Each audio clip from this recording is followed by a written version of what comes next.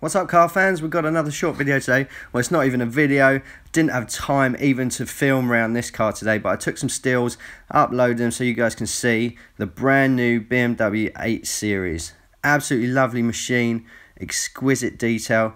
Very similar um, styling to the i8, especially in this blue.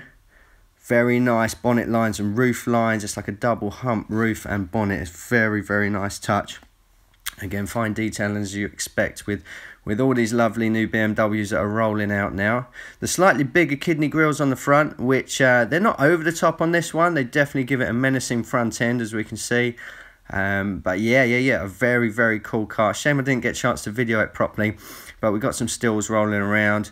So uh, moving on to the back end, as you can see, there's a few style cues from that the i8 in there, especially when we get a um, complete back shot there especially in this colour. So this is the 840D, so the diesel version of this, automatic, um, absolutely amazing interior. Look at that, a nice sort of crystal effect um, shifter.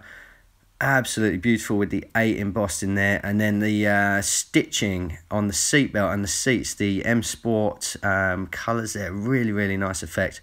Overall, a beautiful machine. Thanks for checking in. Sorry it's only stills, but um, I'll try and get a video of this me machine up and loaded soon. Thanks, guys. Bye.